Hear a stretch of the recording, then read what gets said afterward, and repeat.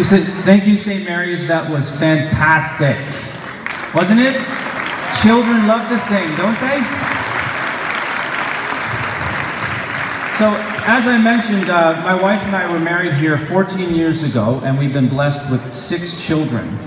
So I know a lot about children. I know a lot, a lot about. children. well, I know a bit. I know, I know three things.